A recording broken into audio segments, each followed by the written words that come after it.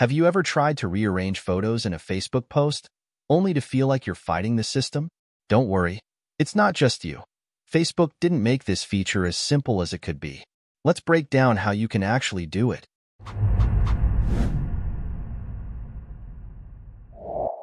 Here's the good news. You can rearrange photos in Facebook posts. On desktop, it's relatively straightforward.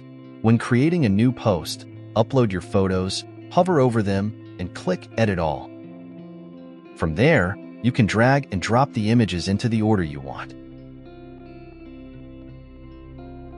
If you're editing an existing post, click the three dots in the corner of the post, choose Edit Post, and then rearrange your photos the same way. Simple, right? Well, most of the time, unless Facebook decides to glitch. On mobile, though, things get tricky. The Facebook app doesn't have a drag and drop option. On Android, you can tap your photos after uploading them, scroll to Add Photos slash Videos, and rearrange from there. It's not perfect, and photos may jump around, so patience is key. For iOS users, unfortunately, there's no easy method, you might have to repost everything in the right order. If none of these methods work, try troubleshooting. Clear your browser cache, update the app, or switch to desktop if you're on mobile.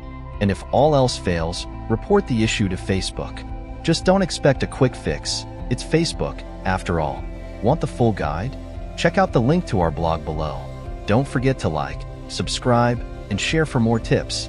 See you next time.